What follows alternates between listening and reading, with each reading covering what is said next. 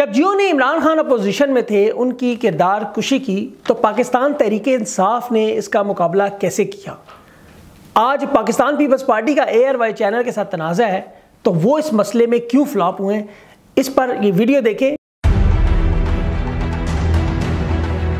Media की नाम नहाद आज़ादी का राग अलापने वाले इदारे। एयर वाई न्यूज़ के सहाफती इकदार की पासदारी के बरदोबान दावे, महज झूठ पर मबनी। बिस्मिल्लाहिर्रहमानिर्रहीम मैं हूँ सभी काजमी। नाजिन पाकिस्तान का चैनल जियो किसी ज़माने में, बल्कि आज से कुछ साल पहले एक बहुत बड़ा चैनल हुआ करता था। इनकी रेटिंग जो थी, वो नंबर वन पर थी। इनके जो प्रोग्राम थे, उनकी सिचुएशन ये थी कि इनका एक घंटा का जो आवर था, वो पाकिस्तान के मुख्तलिफ़ मायनाज चैनल जो उस वक्त थे, उनके 12-12 घंटे की ट्रांसमिशन के बराबर नहीं हुआ करता था।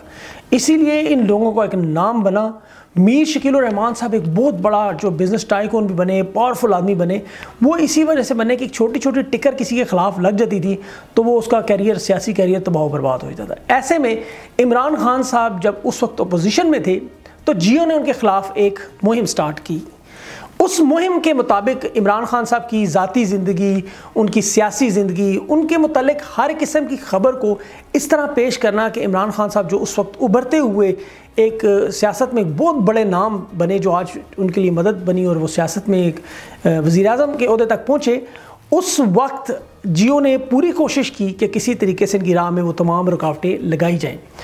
उसके जवाब में पाकिस्तान तहरीक इंसाफ की सोशल मीडिया टीम में आप जानते हैं कि पाकिस्तान तहरीक इंसाफ की जो सोशल मीडिया पर प्रेजेंस है वो सबसे ज़्यादा है। उनकी जो टीम थी, उन्होंने बैठकर इसका ये फैसला किया कि हम इनके हर प्रोपागेंडे का तोड़ ब्लॉग्स की सूरत में और सोशल मीडिया पर की खबरों की सूरत में देंगे।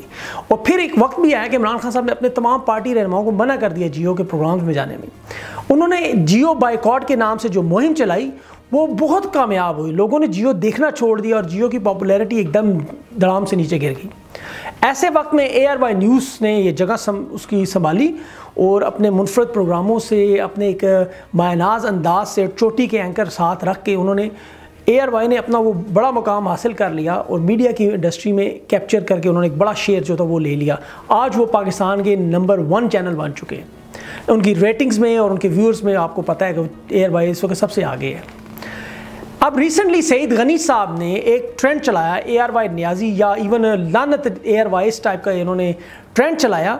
उसकी वजह यह है कि मीडिया का बेसिकली काम होता है कि हुकूमत वक्त की कोताहियाँ देखे। जहाँ जहाँ हुकूमत वक्त गलतियाँ करे मीडिया उसको हाईलाइट करे, उनको दिखाए, ताकि वहाँ पर एक्शन हो। इकरार हसन ने गधों की रिपोर्ट दिखाई कि स्कूल के अंदर गधे वहाँ पड़े, बैठे हुए हैं और वहाँ पे बच्चे नहीं हैं, कोई इंतज़ाम नहीं है। अस्पतालों की रिपोर्ट दिखाई कि वहाँ पर एंबुलेंस नहीं है, वहाँ पर वो रेडियो में लाद कर लेके जाया जा रहा है। कुत्ते काटने की वैक्सीन नहीं है। उन्होंने जब पानी पीने का साफ़ पानी का निज़ाम है, वो दिखाया और इस तरह के जो मसाइल उसकी निशानदेही की।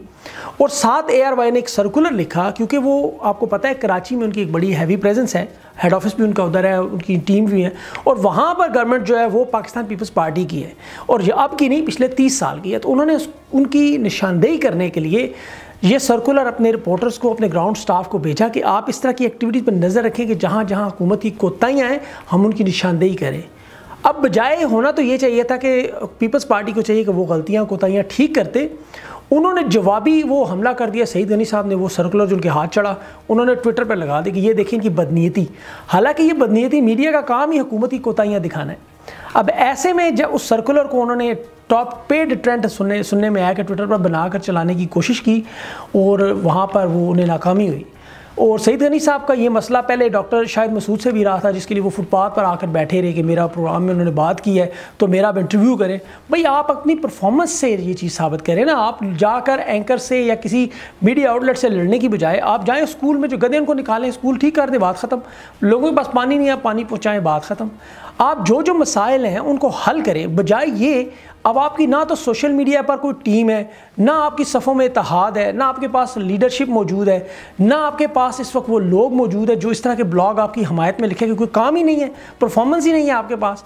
तो फिर वो ए आर वाई की ये जो आप दो नंबर किस्म की झूठी वीडियो बना कर लगाएँगे, जिसमें उनके एग्जेक्टिव के नाम लगाएँगे ख़वान को हरासा किया जाता है, इस तरह की वीडियोज़ जो आ रही हैं अब ऐसी वीडियोस अगर आपके पास प्रूफ है तो वो खातन सामने आ जाएँ। अगर वो भी नहीं है तो फिर सलमान इकबाल के ऊपर या आप उनके जो मैनेजमेंट की टीम है, उन पर इल्ज़ाम लगाने से आपको कोई फ़ायदा नहीं होगा। ये उल्टा आपका जो थोड़ा बहुत जो नाम बना है, वो भी ख़त्म हो जाएगा। दूसरी गलती आप ये कह रहे हैं कि जब इमरान खान पर जियो का मसला था, इमरान खान अपोजिशन में थे। आप इस वक्त जो है, वो पावर में आप गवर्नमेंट में हैं। गवर्नमेंट में लोगों का लेजा और स्टाइल एक डिफरेंट होता है। जो अपोजिशन में होते हैं, वो अग्रेसिव होते हैं, उनका स्टाइल डिफरेंट होता है। आपको चाहिए कि एयर वाई के साथ ये मसला ख़त्म करते बजाय ये।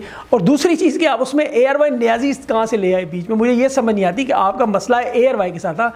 आप बीच में न्याजी कहाँ से ले आए, फिर आप उसके साथ एयर गवर्नमेंट को क्यों ला रहे हैं?